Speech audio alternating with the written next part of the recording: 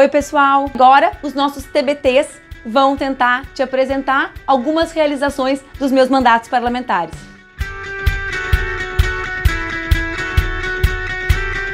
Uma das coisas mais legais que a vida me permitiu fazer foi ter construído o Estatuto da Juventude em muitos espaços. Eu era da Uni e nós debatíamos a necessidade do Estatuto Nacional de Juventude. Depois, eu fui eleita vereadora de Porto Alegre e também debatia a necessidade de nós criarmos o Plano Nacional de Juventude, mas foi em Brasília como deputada federal, que eu tive a honra de relatar ao Estatuto da Juventude. O Estatuto é como uma carta que consolida conquistas para a juventude. Ao todo, são 11 direitos garantidos, alguns já previstos na Constituição, como o direito à educação, ao trabalho, à saúde e à cultura, mas outros foram novidade, como o direito à participação social, ao território, à livre orientação sexual e à sustentabilidade. A experiência de relatar essa legislação que muda, que pode transformar a vida de 52 milhões de brasileiras e brasileiros entre 15 e 29 anos foi extraordinária. Foi muito legal, inclusive pelo método que nós adotamos. Pela primeira vez, nós fizemos uso na Câmara dos Deputados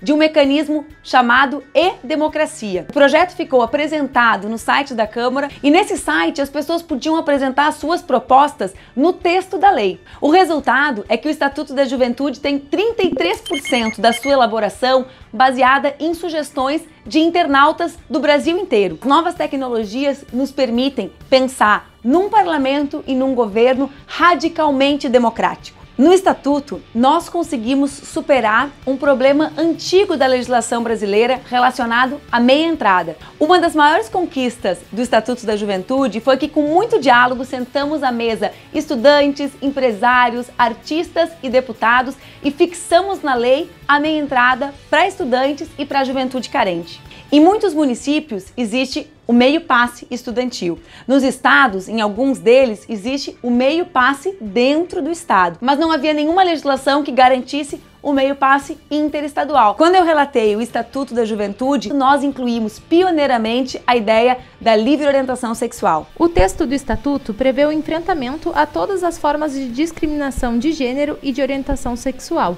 especialmente nas instituições de ensino, garantindo direitos aos jovens LGBTs. O legal é que tu tenhas acesso a todo o conteúdo do Estatuto. Ele é muito diverso, são muitos artigos muitas garantias para a juventude brasileira. Mas sabe como é, né? Muitos jovens ainda não conhecem o Estatuto da Juventude. Para a lei sair do papel, nós precisamos que tu nos ajude a compartilhar essa ideia. Se tu gostou de conhecer um pouco mais sobre a minha atuação parlamentar, nos ajude a fazer com que mais pessoas as conheçam. Compartilhe esse vídeo.